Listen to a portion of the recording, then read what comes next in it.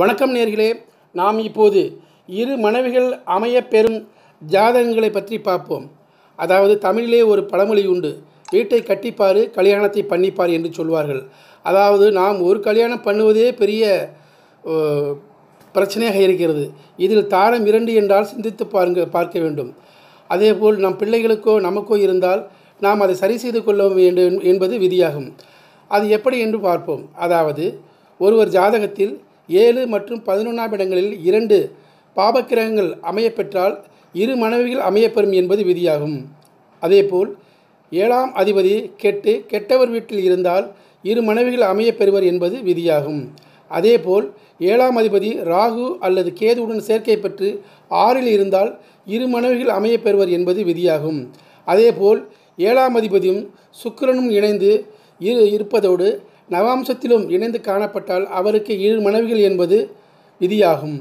அதேபோல் ஏழாம் இடத்தில் சுக்கிரன் சனி இணைந்து காணப்பட்டால் கண்டிப்பாக அவர்களுக்கு தாரம் இரண்டு.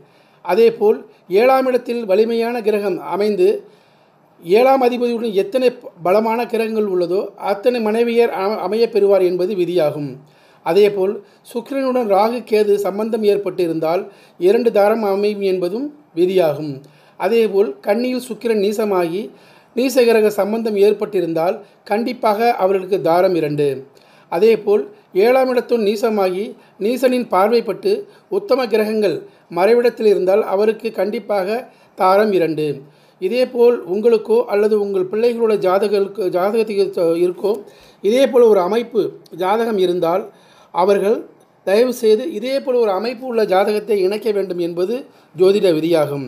இதேபோல் இருந்தால் த- தயவு செய்து இதை புரிந்து கொண்டு அறிந்து கொண்டு செயல்பட்டு இதேபோல் ஒரு ஜாதகத்தை இணைத்து நலமோடும் வளமோடும் வாழ வேண்டும் என்பது எங்களது கோரிக்கை நன்றி நேர்களே மீண்டும் அடுத்த நிகழ்ச்சியில் உங்களை சந்திக்கிறேன். நன்றி வணக்கம்.